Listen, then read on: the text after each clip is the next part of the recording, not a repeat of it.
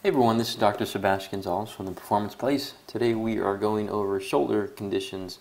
Uh, this is a presentation we've taken through CrossFit gyms mainly, uh, and we're mainly talking about warm-ups, types of warm-ups, mobility warm-ups, uh, uh, stability warm-ups, and how to pick which ones are best for your specific condition. The, uh, the best way to get through this and actually navigate it is going to be if you already knew what your specific injury of the shoulder is, then you can pick which one or which type of warm up is best for you. Uh, what I've noticed, at least with um, is it general trend, general trend, it seems that a lot of people are migrating towards doing um, mobility for everything. Seems like they want to mobilize soft tissues, mobilize joints. They want to do everything. Um, when the fact of the matter is, sometimes you need to make sure it sticks better. Sometimes you need you have an unstable area, an unstable shoulder, um, that might not respond best to mobilizing. So that is the thought process of today. Uh, I don't want to put down um, any one type of uh, warm up, but for the most part, if you know what you have, you can pick your warm up accordingly. There is not a cookie cutter thing for each and every person out there. So take it as that um, is intended to be a good thing. We're not putting down mobility. So mobility warm ups, the typical ones that I see is dislocates and around the worlds. That's something you can YouTube. Um, and there are other ones with bands and uh, things of that nature, which I have seen, which actually I like. Um, they're working on the scapulothoracic joint. Um, I do like dislocates around the worlds, but at the same time, if you have a, a loose shoulder, it's not going to help you out at all. So there are a lot of uh, articles and ideas out there on things such as mobility versus stability. Um, it's been a hot topic for a while. But at the same time, uh, I'm going to make it very simple and say anything can be fixed with WD-40 or duct tape. And I think probably people that grew up with MacGyver can see that you put things together with sometimes uh, chewing gum if you need to. Uh, you're not going to use um, you're not going to use something to loosen things when you need to make sure it sticks. So if something's too loose, you tighten it. If something's too tight, you loosen it. Um, and then again, if you know what shoulder condition you have, you can make that judgment call from there. Now, I'll start with this. This is our reference list. Uh, I try not to put anything out there that is um, has it, that doesn't have research backing it. And these are three exercises that have these specific research, research articles behind it. Uh, I thought they were very good to read, and I strongly suggest people that are watching this or listening to this to make sure that you double check my work too. There's no point taking my word um, as gold. You should make sure that you're making your own um, judgment calls based upon the research. So these are the three things we found. These are the uh, only uh, platforms for progression. Keep that in mind. We didn't want to overwhelm people walking into this gym saying, here's 20 different exercises you can do for the shoulder, go. So we did three. The first one, uh, overhead shoulder shrugs, actually labeled it a little wrong. Um, it is used mainly for scapulothoracic uh, function, and it's going to mainly it's going to be mainly used for the inferior and middle trap. The external rotators, or sorry, the uh, external rotation is very standard one used. It's a sideline external rotation. Uh, I use personally use about a five pound weight. It works the infraspinatus, which is one of the rotator cuff muscles, and the supraspinatus at about 45 degrees when you're laying on your side. Um, the muscle itself usually works in, a, in, in, and around, I believe it's 15, 30 degrees ish, nothing really beyond that. So if you're going beyond 45 degrees, uh, you're really just doing a little bit more work than you need to. It's not as specific. So again, you can call me out on those numbers. Uh, roughly, I just say it starts movement. Um, the arbitrary degrees doesn't, doesn't really matter too much to me. Um, now, when we get into um, loads with it, I personally do this um, cycle about two times. I usually tell people don't focus on how much sweat you're going to get. It's not going to be a workout, it's a warm up. And you probably want to do something like a general warm up even before this. You get your blood moving for about 10 minutes. So I usually have people do the overhead shrugs with about 15 to 45 pounds, I mislabeled here. External rotation, I use about 5 pounds, and sideline to about 45. I do about 5 pounds. Women will use a little less than that. Again, you just want to feel a little bit of a burn. If you have pain with it or restricted movement, don't go through it. There's no point in flaring things up if, if you don't know what you have in general already. So uh, again, there's lots of progressions to these. These are just the ones that we found uh, these research articles on. And I'll leave it right here for a second so you guys can just take a look at it. Now, um, when I present, usually I try to make a lot of visuals. You'll notice in this particular presentation there's not. And the reason is because you want to make sure you don't have copyrighted images on your stuff or they'll come back and bite you. So any image on here is actually my image. And the one that I had for a lowrider, it was uh, right here. So why don't I just paint a picture for you. And if you close your eyes and imagine one of those sweet lowriders where the back wheel is almost covered completely by the wheel well and it's almost dropped completely on the ground. It's a nice rim, a nice tire, um, very pretty. So imagine one of those and you take the wheel and you, there's five bolts in it, maybe four. So you unbolt more than half of them, you take the bolt out and the other ones you loosen and you just, let's drive this thing real fast down the highway and just see what sticks. And you'll notice that the wheel is going to start wobbling around. It's going to shake around the well. It's going to tear the well up. It's going to mess up the tire. It's going to bend the rim. There's going to be lots of problems that come from this. Um, and that analogy is basically of the shoulder. If you have one that is a chronic dislocator or an instability, you're going to have a lot of rotator cuff muscles or cartilage around it, which is going to shred up and it's going to go into spasm. Now, is the main problem the actual cuff or is it the instability? Personally, I think it's the instability, and if we're talking about this wheel analogy, the problem is the wheel doesn't have any bolts on it, so it's just wiggling around. So if the wheel worked out perfect, you wouldn't have the well all shred up. And actually I found a really cool image, um, which I couldn't provide obviously, of if you look up tire blowouts um, damage uh, onto Google, oh man, you see all these wheel wells just shredded up. It was a great second picture to that uh, wobbly wheel lowrider. Um, but anyways, the idea is you got to make sure that if it's unstable, you bolt it on.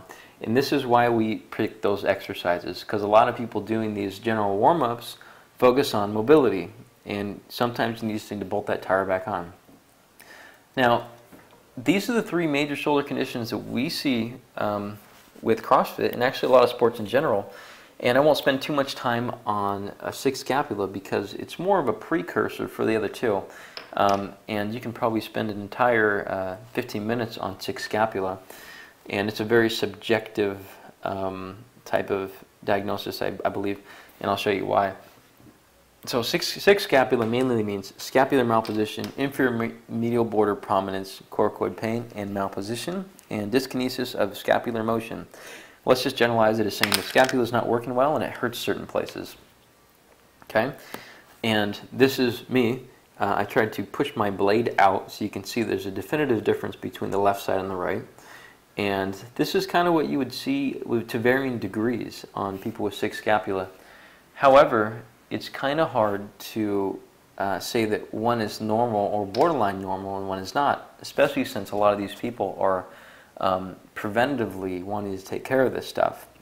Um, a rotator cuff tear, on the other hand, is a very clear thing to see, and I think everyone can see as my cursor comes in. This is a retracted stump of the supraspinatus, and this was a real patient that we had. Um, this is something that needs to be fixed.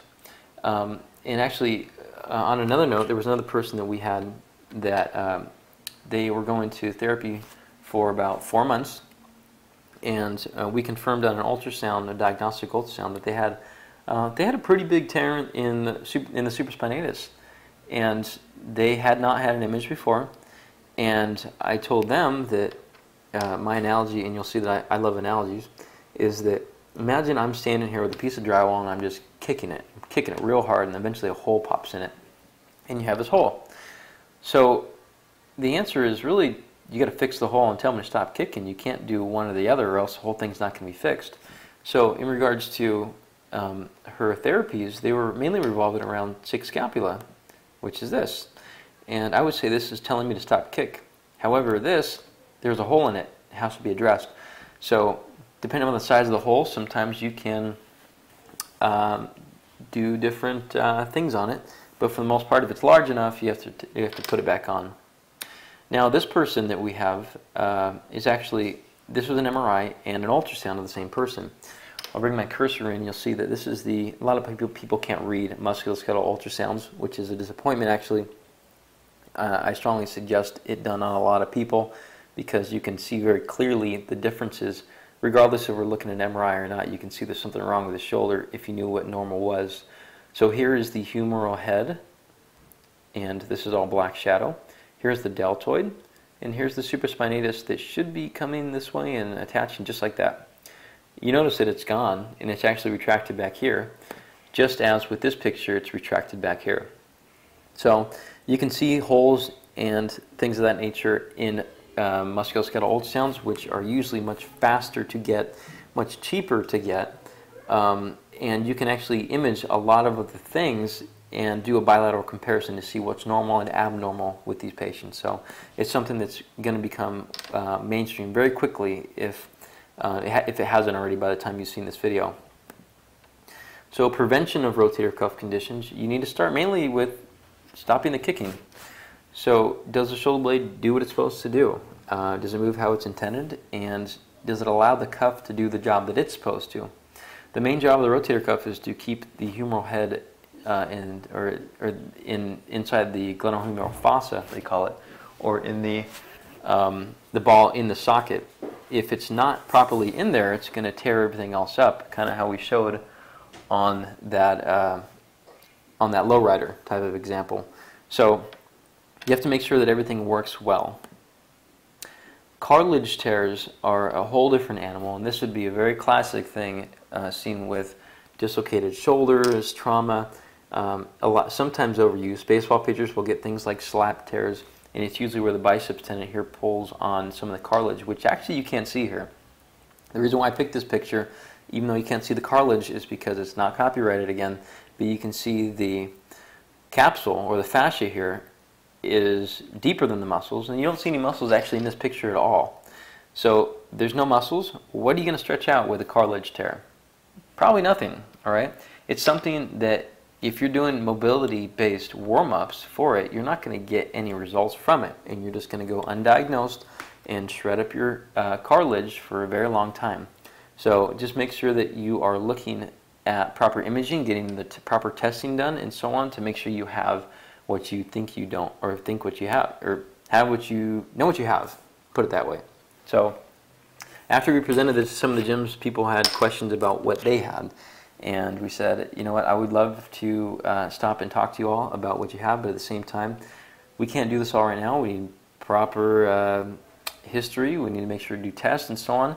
History does tell a lot of stuff, but at the same time, we have to make sure that we're not brushing things off and doing things improperly to give them an answer right there on the spot. So, the best call of action usually to find out what you have is going to be to schedule an exam with somebody, they'll do they'll do standard orthopedics test and put the history together and figure out one or two things that you probably have. Let's say it's a rotator cuff or a labral tear. We don't know yet. They might want to recommend for a musculoskeletal ultrasound or an MRI, based upon whatever you want to do or whatever they think is more, probable to be there. So if we find this and it looks like you had a rotator cuff tear anyways on the history and exam, then it looks like your rotator cuff is the, is the cause of your pain. So there's a lot of things that we have to add up as healthcare providers to be able to give you the answer of proper remedies of how you fix these things and how you would warm it up.